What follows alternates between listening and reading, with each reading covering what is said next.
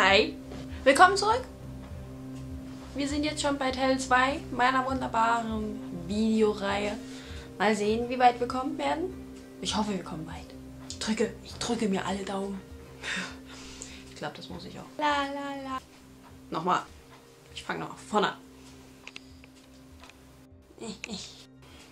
Achtung.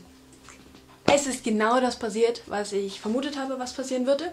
Ich liege mit meinen Videos zurück. Es ist nämlich schon viel zu spät. Ich frage mich, wann dieses Video jetzt hier in den Äther gehen wird. Mal sehen, mal sehen, mal sehen. Ich hoffe noch rechtzeitig. Aber nur weil ich zu langsam mit dem Schneiden meiner Videos bin, heißt es noch lange nichts, dass ich letzte Woche überhaupt nichts gemacht habe. Diese Annahme wäre in der Tat nämlich total falsch. Wieso? Wieso? Ich habe nämlich angefangen, Dinge zu nähen, damit ich anfangen kann, meine Marke zu etablieren. Mal sehen, ob jemand diese extravaganten Einzelstücke kaufen will. Aber das werde ich ja erst sehen, wenn ich dann endlich irgendwann mal meinen Shop eröffnet habe. Aber ich muss mir erstmal über den Ort meines Shops klar werden. Äh, die Stücke, die ich dann genäht habe, werde ich euch in einer Minute zeigen. Oder, oder ich werde ein zweites Video veröffentlichen für diese Woche, was dann nur das, den Nähprozess zeigt. Ich bin mir noch nicht sicher. Genauso unsicher wie bei dem Shop wahrscheinlich. Yay!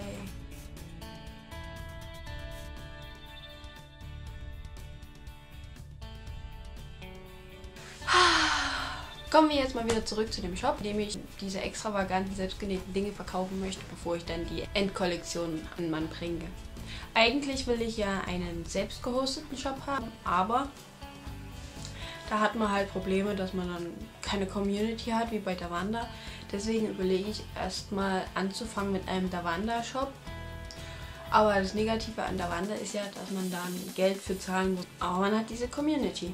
Ähm, und das ganz Wichtige ist, ich weiß nicht, ob ich dann beim selbst gehosteten Shop das auch SSL verschlüsselt hinkriegen würde. Helft mir! Helft mir bitte! Wie geht das?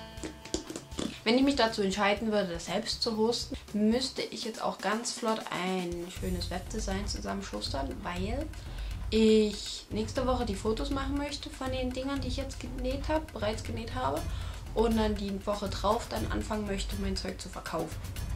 Bei mir dauert ein Webdesign machen für meine, also für meinen letzten Blog hat es zwei Wochen gedauert, bis ich fertig war. Und ich weiß nicht, wie das dann wird, wenn ich dann das ein Webshop-System nehme, was ich noch nicht kenne.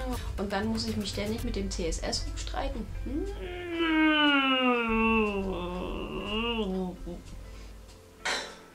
Ich wäre sehr glücklich, wenn ihr mir bei diesem Thema helfen könntet. Also, wenn ihr mir Kommentare dazu hinterlasst und eure Meinung dazu sagt. Das wäre ganz hilfreich und ganz nett, weil ich bin ziemlich ratlos jetzt gerade. Vor allem zu dem Shop-Problem, also entweder Davanda oder selbst gehostet.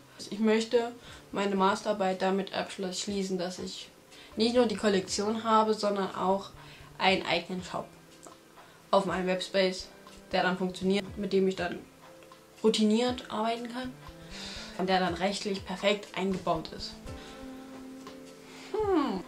Was will ich noch? Was ich in naher Zukunft noch machen muss, ist ein Kleingewerbe anmelden. Ich glaube, das werde ich direkt nächste Woche machen, wenn ich wieder zu Hause bin. Wenn wir gerade bei rechtlichen sind, kann mich da jemand beraten? Hat jemand mehr Ahnung? Also jemand Ahnung, mehr Ahnung als ich geht ja einfach. Ich habe nämlich null Ahnung. Meine E-Mail-Adresse steht in meinen Kontaktdaten oder auf meiner Webseite oder, oder, oder. Oder schreibt mir eine persönliche Nachricht, wie auch immer. So, es tut mir leid, dass dieses Video sehr hilfsbedürftig geworden ist. Aber ich brauche nun mal Hilfe und deswegen tut mir nicht leid. Dann, dann vielen Dank fürs Zuschauen.